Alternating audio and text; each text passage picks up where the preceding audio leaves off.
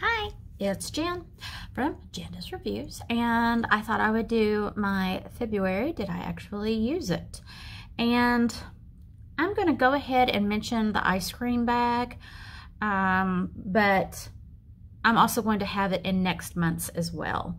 Uh, just to see if I use it more because I've only had it um, about a week now. So it's not really enough time to tell whether or not I'm actually going to use this palette. Um, so let's get into the first box this month, which was AIA's Beauty Bundle. And this was featuring Jason Wu. Okay. I've already decluttered, I think, only one thing out of this, but I see myself getting rid of a couple more. So um, this wasn't as good a box as I had hoped. Um, I, I did enjoy trying out a new brand Jason Wu is carried at Target and also at jasonwubeauty.com. Um, first off, the, I hate the name of it too, the Bush. It's a um, brow soap. I didn't have any brows for it, but if you go back to my unboxing video at the beginning of the month, you will see that I did use it on my daughter and I included a couple of photographs of her eyebrows after I'd used it. And it did really well for her, but she has much fuller, thicker brows than I do. So that's just a product that I'm not going to use. Um, I also, I have not tried these, but I don't get breakouts. So um, I'll also be giving these to my daughter. Um, these are the Jason Wu Saved by the Patch Pimple Patches. Um, I'm sure they're very handy. That's great. Then um, the last thing that's a definite no for me was this Jason Wu Magic Matte Oil. And um, it's it's weird. I mean, you shake it out. Oh, sorry. and it gets a more viscous looking appearance. It does separate. But um, when I tried it, it pilled up on me, which is always a dead straight no. Won't even give it a, a second chance because pilling just doesn't work. Um, it mattified my skin, but it didn't blur it. It didn't fill the pores. It didn't make anything look smoother. It didn't hydrate. It just, it didn't do anything that I typically would want out of a primer. So this is also a no. I doubt my daughter will want this, um, but we will see. But that's going to be decluttered. Now, out of the products that did work, um, I have on both the lip liners today. Um, they are in Parisian Chic and Royal. I have Royal along the outside edges, and then I have Parisian Chic on the inner. Um, Parisian Chic is a more peachier skin tone, and then uh, Royal is a slightly pinkier skin tone. It's more mauve, cooler toned, where this one is a warmer tone. Likewise, um, we had two of his Hot Fluff lipsticks. These are modern matte lipsticks. They are very creamy. They don't dry out the lips, but I don't really particularly like either shade on my lips. But they said that you could use it like a multi-stick as well. So I did use, um, I'm sorry, this is, what is this color? I've forgotten the name of it. Um, this one is Jelly Roll, and this one is Eclair. Uh, I didn't use Eclair today simply because I went with a cooler toned eye look. So I did use Jelly Roll on my cheeks. That's what I have on today for a blush. It blends out beautifully. It lasts all day. And it doesn't um, sink into creases and fine lines. So it gives the skin a very smooth appearance, which I do like. And then lastly, um, we have his matte agave. I think I've got that upside down, sorry. Nine pan eyeshadow palette. These are, as the name implies, all mattes. I have used this a couple of times this month. I like it. Do I think it's something fantastic? No. Once I put it into my makeup rotation, is this something that I'm going to grab when I'm just wanting a very simple brown toned look? Probably not. It's, it's okay. It's nothing fantastic, but it's also not bad. So um, I will be keeping it. I do like all matte eyeshadow palettes. Um, if you're used to a shimmer, I suggest you try using a matte in its place that's just as bright. You'll be surprised at the color payoff and the highlighting effect you'll still achieve with a matte finish. It's, um, it's good. So, next would be the Allure Beauty Box. And I just wasn't wowed by this one. This month just wasn't good for Allure and me. Um, first off, the Dr. Brandt Microdermabrasion Exfoliator. I have tried this in the past. I've got several of them. Um, this is the first full size, but I've received multiple of the sample sizes. And this just, I have other exfoliators. This one is expensive. It's nice, don't get me wrong. Will I use it? Possibly but um, I didn't need a full size. It was just, eh, it wasn't wow, you know. Um, also, full size, we received the Topicals Like Butter Hydrating Mask. And I have not tried this. I think it will probably be fine. It looks to be more like an ointment consistency from the pictures online that I've seen of it. But I don't need it right now. So this is just a, eh, you know, in the future. Briogeo Don't, Don't Despair Repair Line. Um, they're hydrating hair mask. I don't use these things. I have very fine, fine, straight hair. So um, hair masks typically make my hair just look oily and unwashed when it's fresh washed. Um, they don't rinse away clean like they claim to. I've just never found one that works for me. Then we have um, the Heritage Store Rosewater Refreshing Facial Mist. And this, you know, would be okay, except the rose smell is a bit too strong. I'm not a fan of fake rose, and this one just doesn't smell good. It doesn't trigger a headache. It's just not pleasant. And that's just personal choice. Um, Crabtree and Evelyn the Velvet, Effluent Rose Velvet Body Melt. Now this one I have not used. Um, as soon as I go through my current tub of um, body moisturizer, I will use this one, but I have opened it and smelled it. And this is very delicate rose smell. This is the type that I can do. It's very light and it's mixed in with other floral scents, so it's not overpowering. And then lastly, we have the Model Co. Metallic Eyeshadow Trio, which I had received before in an Allure Beauty box, um, uh, October of 2019. So, um, yeah. I swatched it. That's it. It's all shimmers, and um, they're just not great. So, I've already decluttered the first original that I had, and I'm sure I will declutter this one too because it's just, it wasn't appealing. There were other eyeshadows that I would pick over this one, even when I needed a metallic and I'd be looking through my singles, which is where I kept this, thinking, you know, when I wanted a single um, more metallic shade to highlight my lids, like I've, I've kind of done today, you know, um, that I might use one of the shades in here. I never did. They're all very warm toned and I just don't like them. Sorry. So Allure was kind of a bust. Um, wasn't thrilled with that. Then we have BoxyCharm. And I really loved my BoxyCharm box this month. I know, really surprising, right?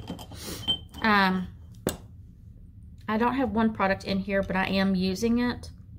I'll get to that. Um, first off, we have the Huda Beauty Mercury Retrograde palette, and that is what I used on my eyes today. Um, you see, I, I attempted without going as pink as she did. but I kind of wanted that appearance. Um, I have used this a couple of times.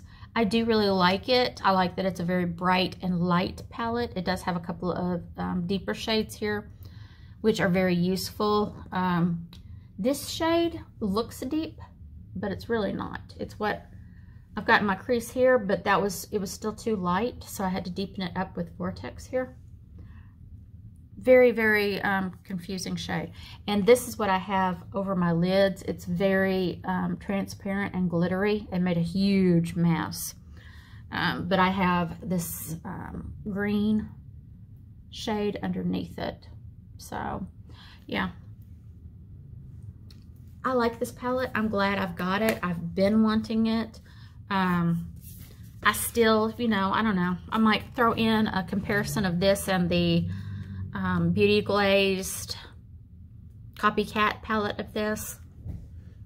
Haven't made up my mind about that still, but I really, really did enjoy it. I never used the Christophe Robin volumizer, hair volume, what was this? Instant Volumizing Leave-In Mist. So I can't really say whether I like it or not. It's basically a texturizing spray for your roots. The directions are a little vague, so it, I don't know, that just makes me nervous. So I haven't used it. Sorry. Then we have the Vike Makeup Melt. I did use this when I was swatching things. Um, it's not something that I'd want to use all the time, but on days like today, where I do have a full face of makeup, I have on um, tinted moisturizer, blush, bronzer, eyebrows, heavy eye makeup, you know, three different mascaras. Yeah, three. I would probably use this. Um, I do like that it starts melting on contact, so you don't even have to rub. Uh, it says that you, to remove it, you can just splash water, but we all know I'm I'm not a big water splasher kind of gal. So more than likely, I will be using, you know, a makeup eraser that's wet and just, you know, finish it off with that.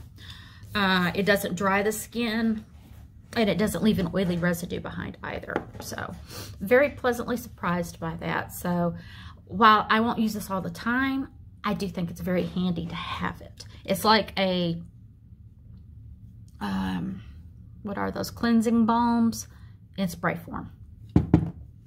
And then Dime Beauty, their uh, Lash Boosting Serum. I have been using it. I have forgotten a few times this month. Um, so I am putting it on my eyelashes and on my eyebrows. And I haven't noticed a significant difference, but it hasn't been full 30 days either. Um, February just doesn't have 30 days. But uh, I haven't noticed a big difference in my lashes. You're supposed to see a fairly big difference, you know, after a month's use. Uh, but my eyebrows have darkened.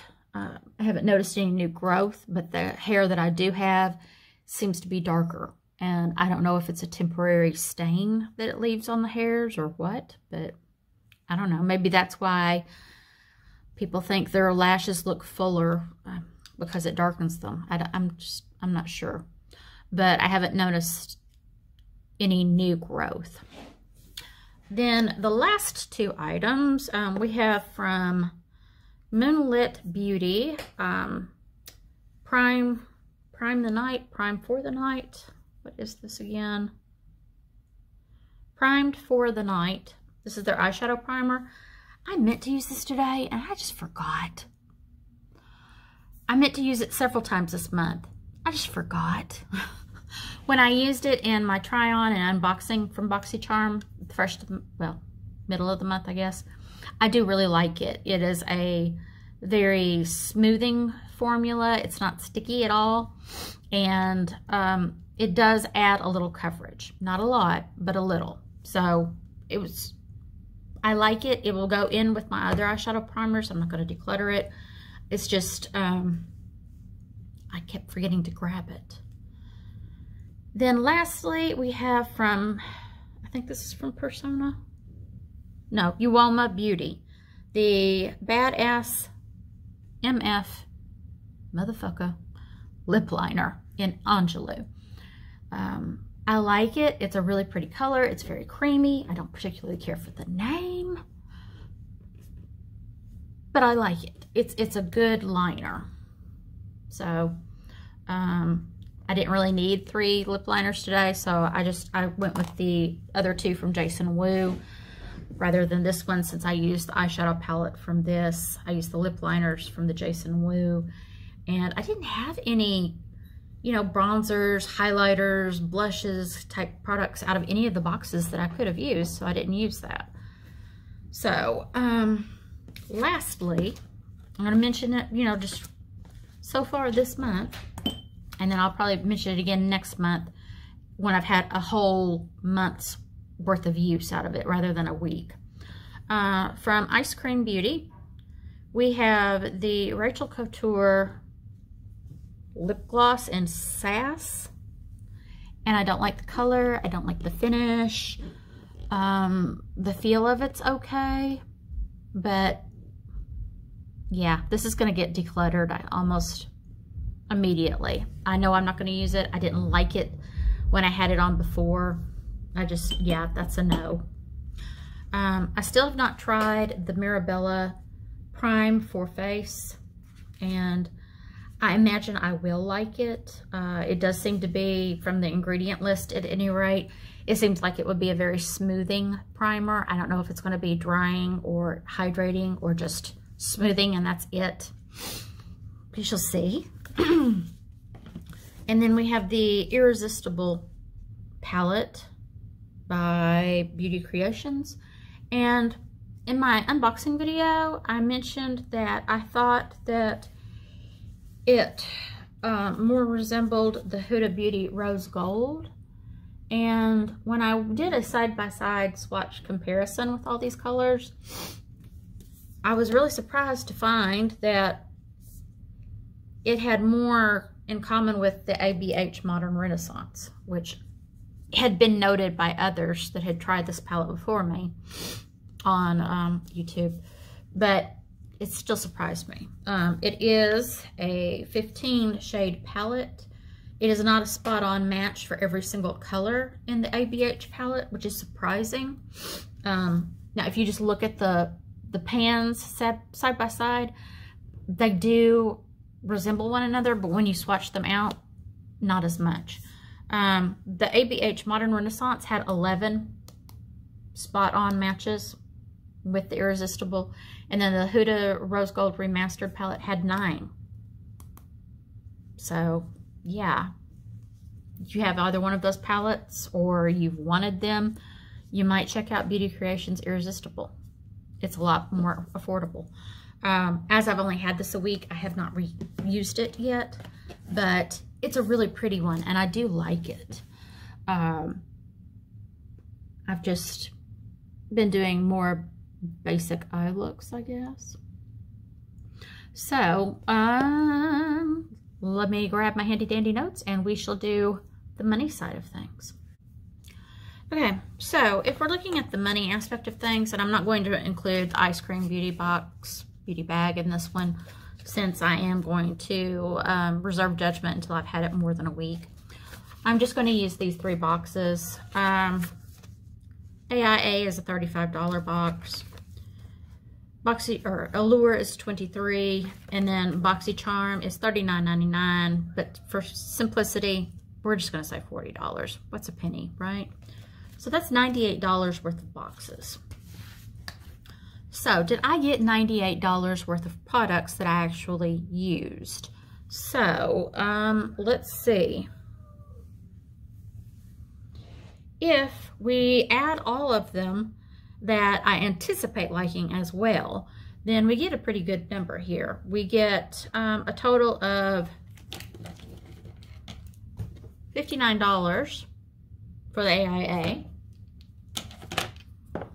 Then for Allure, not as great. We get 34.08 for the Like Butter Mask.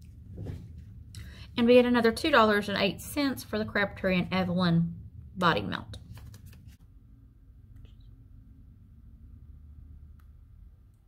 Okay. Having technical issues. My um, camera stand keeps dropping my camera out. So I don't know what the problem is with it exactly, but since I only have the one last box to talk about, I'm just going to hold my camera and um, we'll go from there.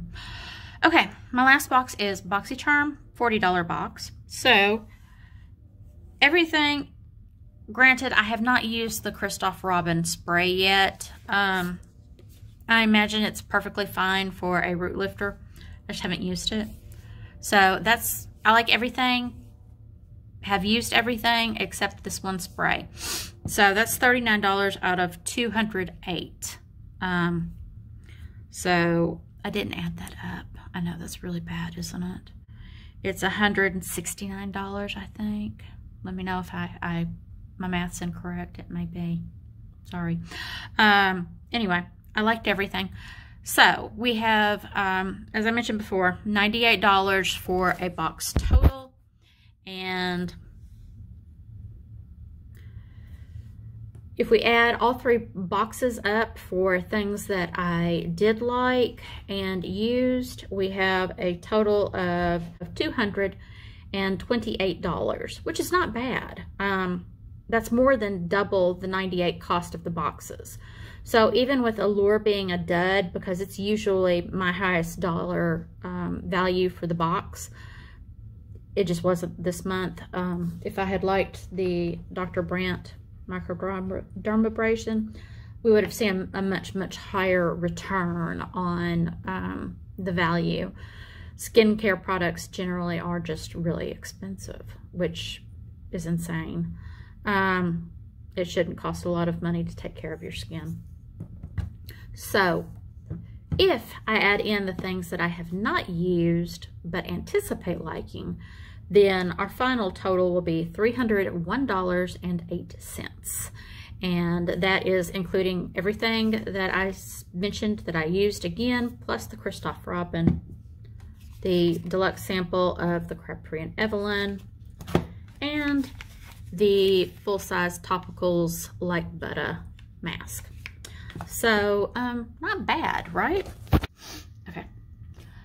So that's it for this month. Um, I hope you all enjoyed this. Stay tuned. I'll have more videos coming your way very soon. Bye.